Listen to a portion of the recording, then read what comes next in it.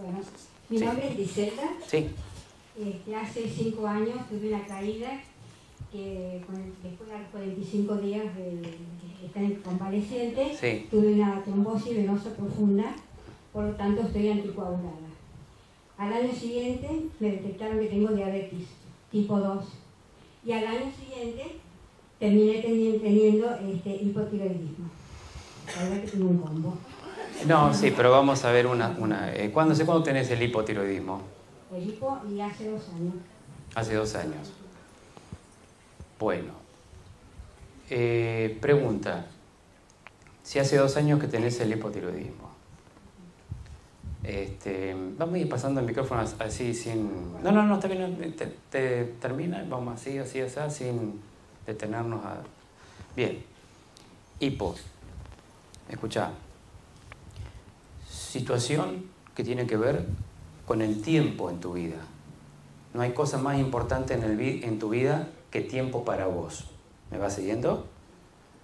Siempre quisiste tener tiempo para vos, pero nunca lo has tenido. Escucha. Siempre pasa algo que terminás donando tu tiempo a los demás, por hacer cosas por los demás. ¿Me vas siguiendo? Haces cosas por los demás. Ahora, cuando tenés que hacer cosas por vos, no lo puedes hacer, porque los demás te quitan el tiempo por las cosas que te piden que vos hagas por ellos. Bien. Entonces, el hipotiroidismo es menos tiroxina de lo normal en el cuerpo. Eso lo hace tu cerebro. Quita la tiroxina para que vos te achanches, para que no tengas ganas, para que estés desganada. ¿Para qué sirve estar desganado y no tener ganas de hacer nada? ¿Qué es lo que te está pasando ahora? Está pasando eso, ¿no? Bien, te sentís como desganada muchas veces y bueno, ese es el hipotiroidismo, si es que lo tenés realmente. Si tenés hipotiroidismo y te sentís desganada, significa que esa es una solución que ha encontrado tu cerebro. ¿Para qué sirve estar desganada? Para no hacer aquellas cosas que has hecho alguna vez y te han tomado el tiempo y te han usado. Eso es lo que te quería decir. Hace dos años apareció el hipo.